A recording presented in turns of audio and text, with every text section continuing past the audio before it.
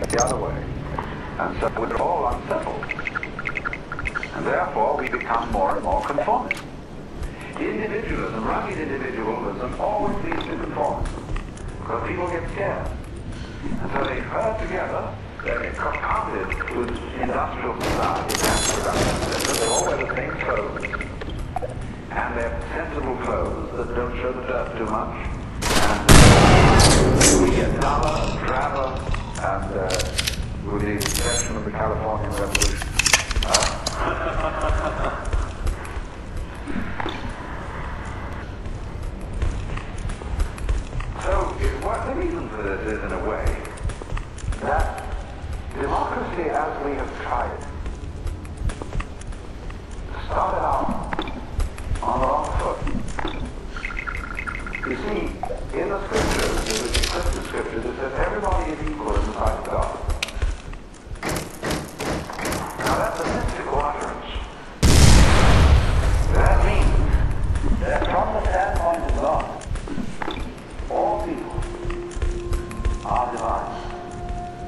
And are playing function. And that is something that is true on a certain plane of consciousness. But come down a step and try to apply the mystical insight in the practical affairs of everyday life. And what you get, you get a mysticism. You get the idea of everybody equal in the sight of God.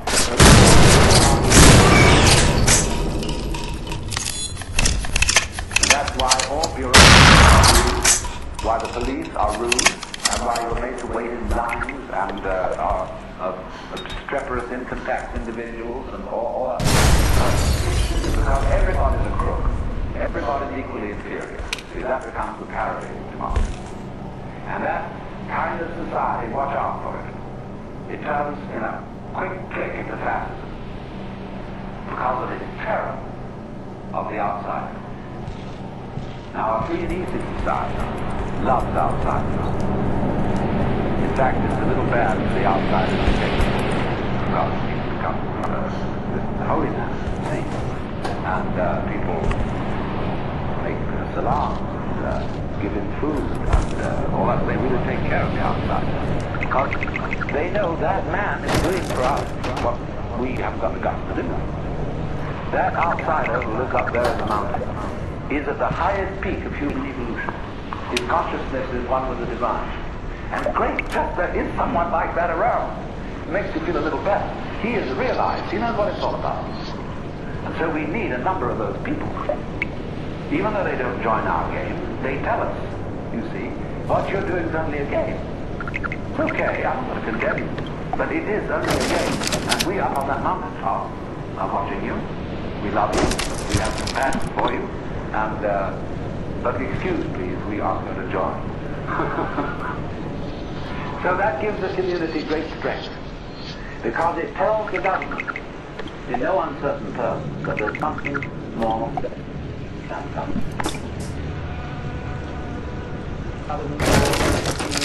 Curse, too. There's many different reasons. You have to live on every tongue in the world. You have to live in every country in the world. You have to be every religion in the world and every race. You have to know what it's like to experience absolutely everything, every piece of every situation. And that gets a little overwhelming to people. This is what's happening in between. You're going back to the spirit side and finding out more and coming back and forth. But there is so much to learn. And usually when I say all this, people start looking pretty discouraged. You know, I gotta do all of that. But if you realize when you've come to this point where you're asking questions, you're wanting to know more, when you get to that point, I think you have already gone through all of those experiences. And now you're finished and you're on the way out. Because once you have experienced everything you need to experience, you don't want to keep going around and around on the wheel of karma. You want to get off of that and go to the next lesson. When you finally get finished, then you return to God.